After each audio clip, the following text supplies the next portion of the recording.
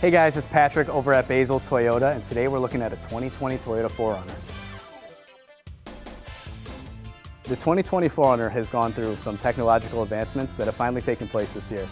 That being the Toyota Safety Sense that has been added through the radar on the front here and the camera up top on the window.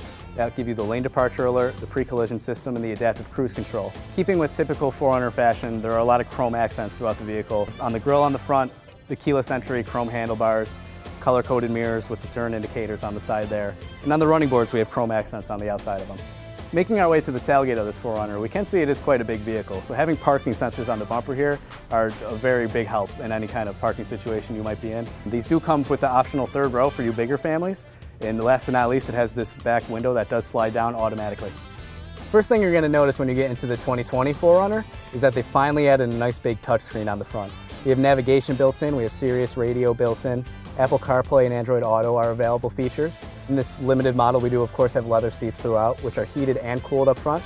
Uh, we have a sunroof right above my head here, which all add to the nice luxury features this gives, along with the power and the off-roading capabilities that the 4Runners are known for.